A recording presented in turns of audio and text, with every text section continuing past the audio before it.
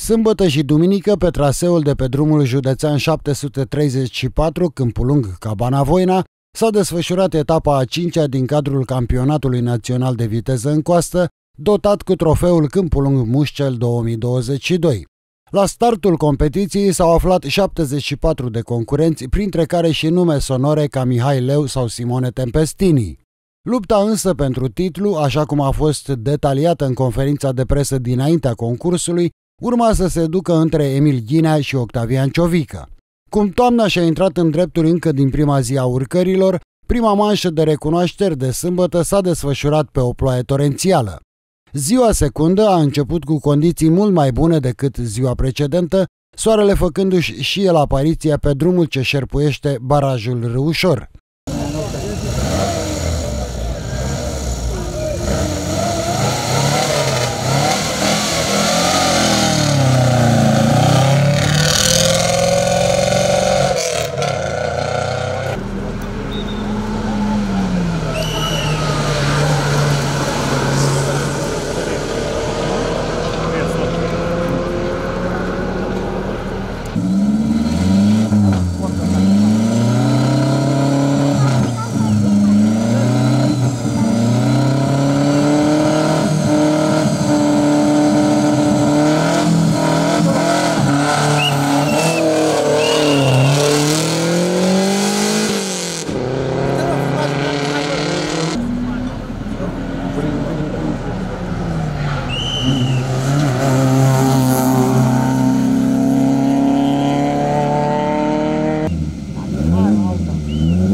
Gracias.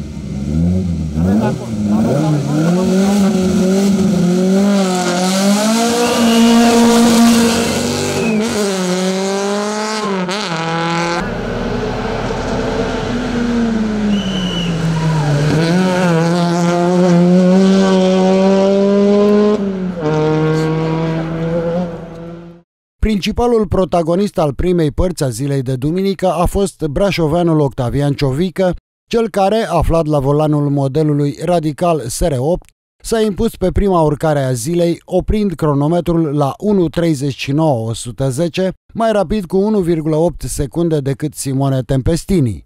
Pilotul de sub tâmpa a profitat de condițiile perfecte pentru pilotajul unui bipost, precum radicalul său, astfel că în a doua manșă a zilei a mai scăzut câteva secunde, ajungând la 1.35.699, lăsându-l pe Costel Cășuneanu la 1,5 secunde în urmă. Ajunși la manșele decisive, Ciovica a mizat totul pe o singură carte, Victoria, ca și până acum, reușind să coboare până la 1.29 817 cu 1,4 secunde mai rapid decât Alexandru Pițigoi și cu 4,4 secunde mai rapid decât Tempestini. A doua manșă de concurs i-a adus brașoveanului un timp mai bun, acesta plecând acasă și cu titulatura de King of the Hill, datorită timpului de 1.29.317, acesta realizând un timp cumulat de 2.59.134. Poziția secundei a revenit lui Alexandru Pițigoi la 3,8 secunde în urma brașoveanului, în timp ce a treia poziție a podiumului festiv a fost ocupată de Costel Cășuneanu la o diferență de 8,2 secunde de învingător. În urma victoriei de la Câmpul Lung Mușcel, brașoveanul Octavian Ciovica a devenit campion național absolut al categoriei 2 înaintea ultimei etape de la Poiana Brașov. Campionatul național de viteză în coastă se încheie în perioada 15-16 octombrie la trofeul Audi pe traseul de concurs ce leagă Livada Poștei din Brașov de Poiana Brașov.